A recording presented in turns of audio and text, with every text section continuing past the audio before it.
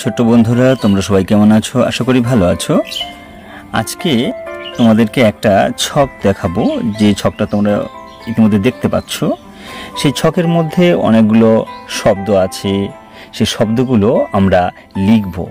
তো চলো দেখে নিই কী কী শব্দ এই ছকটার মধ্যে রয়েছে। প্রথমে তোমরা দেখতে পাচ্ছ, এখানে চয়াকার ক তয়হসি চাকতি। তাহলে এখানে সামনে পিছিয়ে আছে, উপরে নিচে আছে। এগুলো পরপর অক্ষর সাজানো আছে। আমরা সেই অক্ষরগুলো দিয়ে শব্দ তৈরি করব। তো চলো, দেখে নিই। উপরে আছে চয়াকার ক, তয়হসি, চাকতি। তো আমরা লিখব চয়াকার ক তহসি চাকতি। তারপরে আছে দেখো চয়সু দন্তন্য চুন। তো এখানে আমরা লিখব চয়হসু দন্তন্য চুন। তারপরে আছে মো তালবস্বয় আকার রয়হসি মশারি। আমরা এখানে লিখব মো তালবস্বয় আকার রয়হসি মশারি। তার নিচে আছে দেখো, পয়াকার দন্তন্য পান কয় ঔকার, ডয় শূন্য রয়সি পান কৌড়ি। তো আমরা এখানে লিখে ফেলি, পয়াকার দন্তন্য পান কয় ঔকার?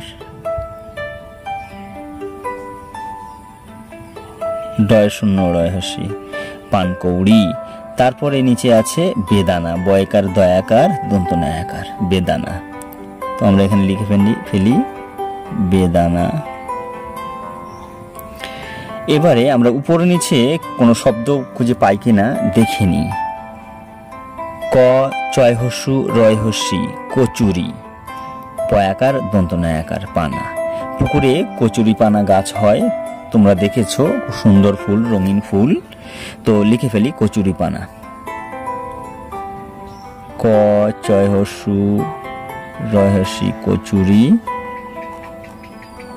পয়াকার, দন্তনায়াকার, কচুরি পানা। আবার দেখো, তয়সি দন্তন্য তিন তিনও লেখা যাবে, তো আমরা এখানে লিখব তিন, তয়াসি দন্তন্য তিন অনেকগুলো শব্দ পেলাম। যে শব্দগুলো আমরা পরপর লিখেছি, চাকতি উন মশারি, পানকৌড়ি, বেদানা কচুরি পানা তিন। উপরে অনেকগুলো শব্দ আমরা পেয়েছি, তো আরও কিছু শব্দ রয়েছে, সেগুলো আমরা লিখে ফেলি। ম তালবসা একার মশা। তো মশা লিখে ফেলি আমরা।